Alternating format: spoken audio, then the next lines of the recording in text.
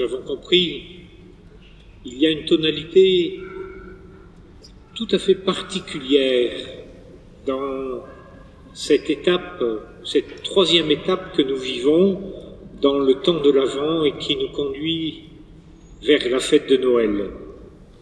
Une tonalité toute particulière qui nous donne à pressentir euh, la proximité, l'imminence de cet événement dont nous n'aurons jamais fini de mesurer tout l'étonnant et tout l'exceptionnel. Et cette tonalité, elle se déploie dans, déjà dans cette joie que nous sommes invités à accueillir, à partager, à laisser d'une certaine manière euh, monter en nous, au cœur même pourtant de tout ce qui peut venir euh, l'entraver.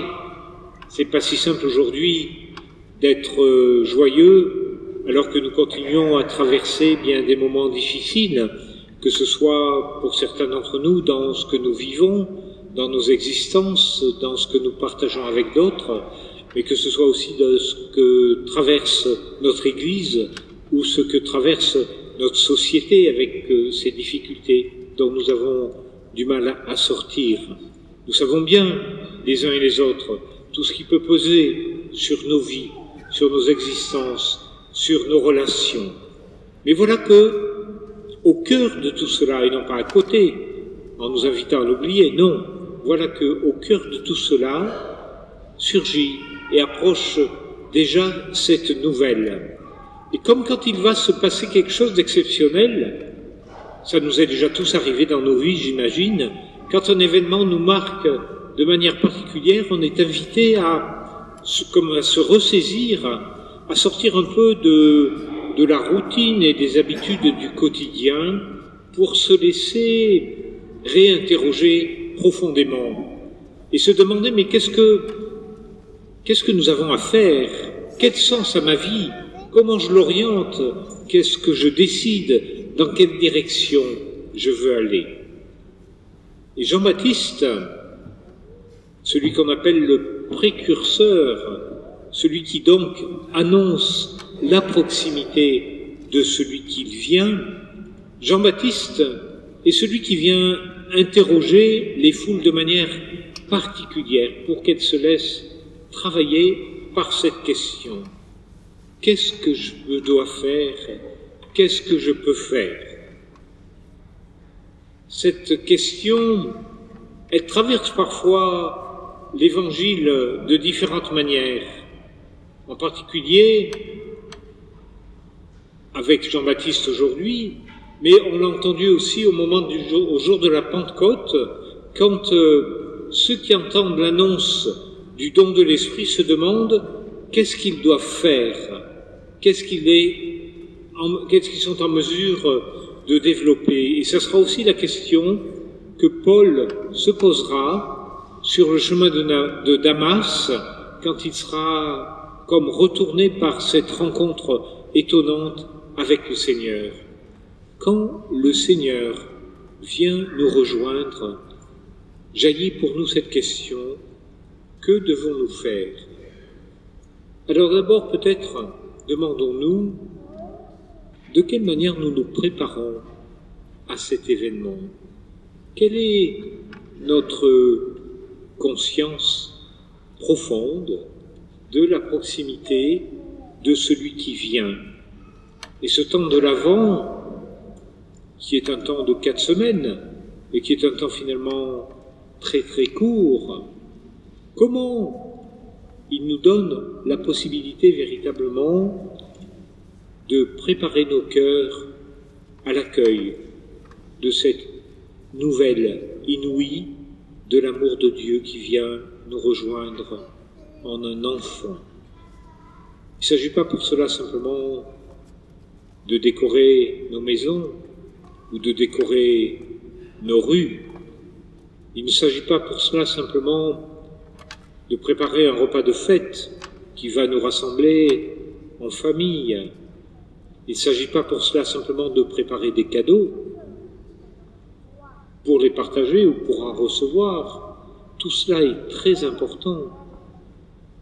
Mais tout cela est important à cause même de l'événement que nous marquons, dont nous faisons la mémoire et la mémoire vivante pour nous aujourd'hui, celle de l'amour de Dieu qui vient nous rejoindre en un enfant pour renouveler la terre, pour renouveler notre vie.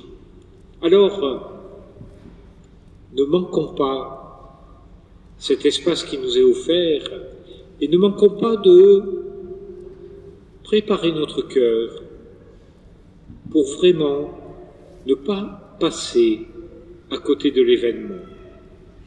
Le préparer, c'est peut-être prendre du temps pour la prière, pour lire la parole, pour la laisser nous rejoindre et façonner quelque peu notre cœur, que cette parole nous dispose.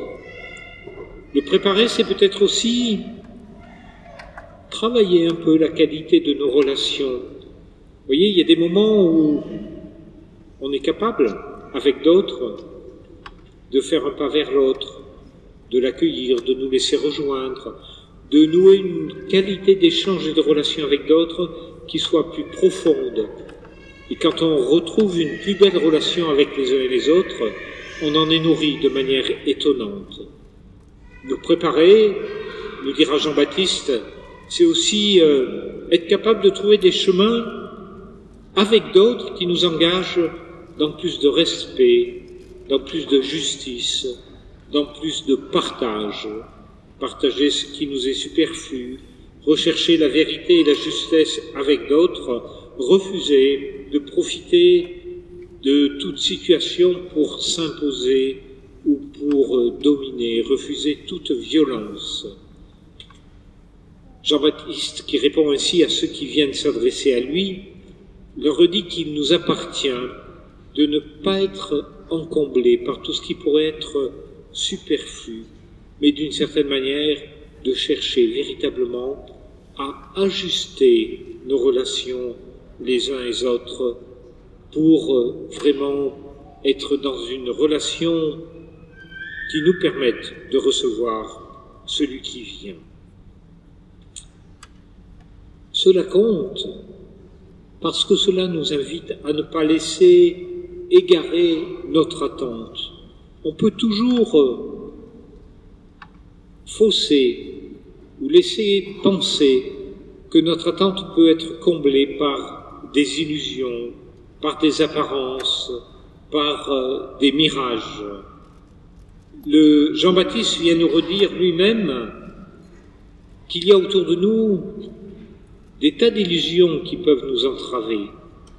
Et il s'agit bien d'accueillir celui qui vient avec la parole qu'il nous adresse. Il est celui dont l'amour est plus puissant, alors que nous, souvent nous sommes désespérés. Son amour vient nous inviter à dépasser ce qui nous désespère. Il est celui qui va nous baptiser dans l'Esprit Saint et dans le feu. Il vient non pas pour nous séparer dans la violence, mais il vient pour inaugurer, pour inaugurer par sa vie un royaume de paix et de fraternité. Et la meilleure manière de nous rendre capables de l'accueillir, c'est déjà de nous attacher de différentes manières à le construire. Alors comprenons-le bien, la parole du Baptiste aujourd'hui n'est pas une parole qui veut nous inquiéter ou nous préoccuper, elle est plutôt une bonne nouvelle. Elle est une manière de nous dire que celui qui vient vient renouveler nos vies et nos relations et que déjà nous pouvons en percevoir le signe dans notre manière d'être les uns avec les autres. Et c'est cela la raison de cette joie qui déjà nous est annoncée, nous est proposée, nous est offerte et que déjà nous chantons. Le roi d'Israël est en toi, tu n'as pas à craindre le malheur, il aura en toi sa joie, il dansera pour toi avec des cris de joie.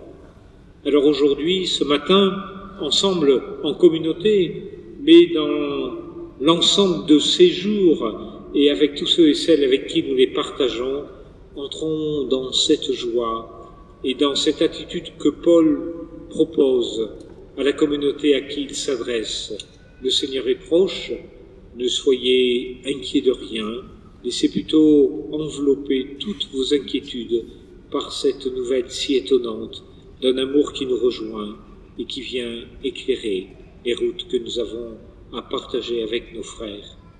Amen.